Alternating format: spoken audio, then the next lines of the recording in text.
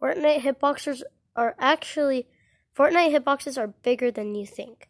So if I'm here, right? Uh, my friendly, my my good old friend Jackson over here is going to help us with this. He is not friendly so this is a perfect time to use him as a te- test sub. So if you guys can see, which I think you can, and I hope you can, and you guys can. So, as you guys can see here, I'm aiming, I'm uh, not touching the body. I can shoot here, right? No damage though. But if I go right here, damage has been dealt. As you can see, if I move it up and down, it is not touching the face at all. And then I just shoot again, bam, he's dead. So actually, the Fortnite hitboxes are actually bigger than the actual player.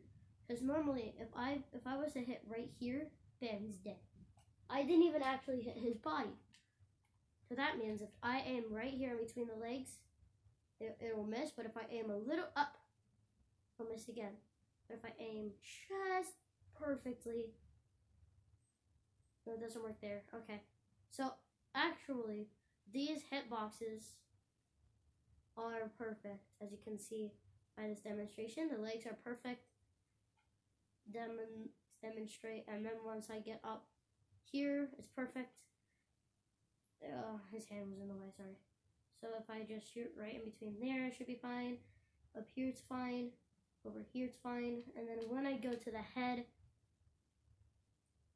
just close enough. As you can see, it is not over the head. Dead.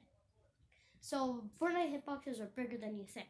And if you say, oh guys, I have aimbot, stand still real quick, then you don't aim, and you aim perfectly right here, aim a little bit, aim, and then miss them and hit them, they will think you have aimbot. So be careful out there, people.